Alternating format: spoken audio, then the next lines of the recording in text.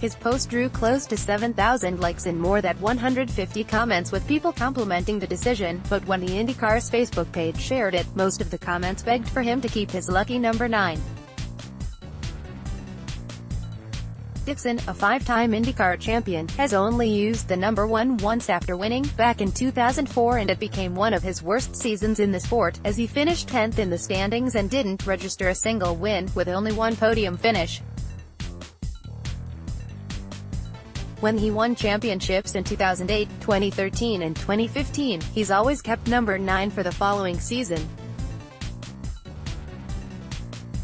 We turn up to the official test with the number 9 on there, he told IndyCar's website. That's after we won the 2003 championship. We ran it into 2004 and then we've never done it since. I think some people will get a little bit of a laugh out of it. I like number 9, but to be honest, it's Chip's decision. The first race of the 2019 IndyCar season is scheduled for March 11th NZ time, at St. Petersburg, Florida. Dixon has been nominated for Sportsman of the Year finalists at the Halberg Awards, News Hub.